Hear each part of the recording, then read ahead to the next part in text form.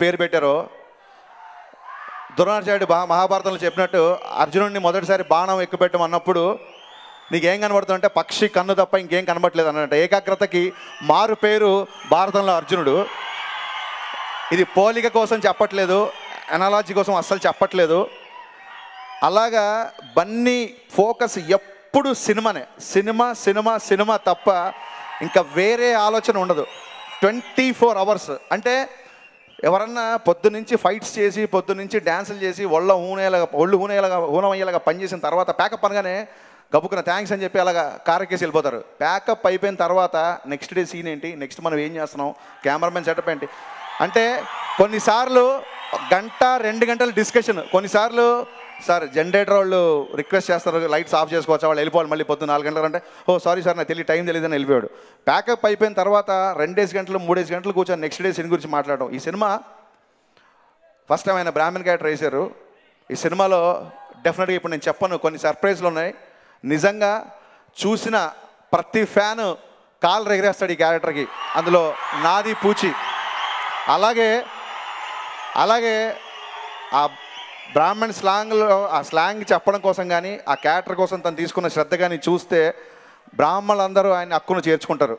అంత కష్టపడ్డాడు. ఎందుకు కష్టపడ్డాడంటే ఎందుకు కష్టపడ్డాడంటే ఈ- ఈ భాష నాకు అలవాట్లేదు ఈ భాష నాకు అలవాట్లేదు ఈ వ్యవహారం నాకు అలవాట్లేదు ఈ పద్ధతి నాకు అలవాట్లేదు ఎందుకు మీరు అంత స్పష్టంగా మాడతారు నాకు ఎందుకు స్పష్టత రావట్లేదు? ఇక్కడి నుంచి డిస్కషన్ స్టార్ట్ చేశాడు. సార్ ఏం లేదు జనరల్గా మేము నాన్ వెజ్ తినం కాబట్టి కొంచెం స్పష్టంగా వస్తుంది. నాన్ వెజ్ తింటే కొంచెం ఇలాగా నాలుగేదో చిన్నప్పుడు అలా చెప్పారు. అయితే ఓకే అని చెప్పి నాన్ వెజ్ మానేశారు. ఈ క్యారెక్టర్ జరుగుతున్న సేపు నాన్ వెజ్ మానేసి చేశారు సినిమా. ఇలాగా ఒక్కొక్కటి చెప్పుకుంటూ వెళ్తే బేసిక్గా ఒక ఇరవై నిమిషాలు ఈ కథ చెప్పగానే హరీష్ మనం ఈ సినిమా చేస్తున్నాం నాకు నచ్చింది కానీ నాకు రెండు గంటలు ఖర్చు కథ కావాలి అని అడిగారు. అదేంటి ఇరవై నిమిషాలు బాగానే ఉందన్నారు కదా మళ్ళీ రెండు గంటలు ఆ తర్వాత ఒక వర్షం చెప్పాను. బాగుంది దీనికి ఇంకా కావాలన్నారు. ఆ తర్వాత ఇంకో వర్షం చెప్పాను. బాగుంది దీనికి ఇంకా కావాలన్నారు. ఒక డైరెక్టర్ని మ్యాక్సిమం పుష్ చేసి చాలామంది అనుకుంటారు డైరెక్టర్లు మేము హీరో నుంచి అది రాబట్టుకున్నాం ఇది రాబట్టుకున్నాం. నేను ఏమీ రాబట్టుకోవాలి నా నుంచి అన్నీ ఆయన రాబట్టుకున్నారు. సీరియస్లీ సార్ ఇది నేను మొన్న చెప్పాను మళ్ళీ చెప్పినది ఎటకారం కాదు. అంటే ఎలాంటి హీరో అంటే నా నేను జనరల్గా నా సినిమాలో మీరు చూస్తుంటే హీరో క్యారెక్టరేషన్ మీద ఎక్కువ నేను ఫోకస్ పెడతాను నాకు అది ఇష్టం. హీరోయిజంతో పెరిగిన వాళ్ళు హీరో సినిమాలు అంటే ఇష్టం అలా చూస్తాం.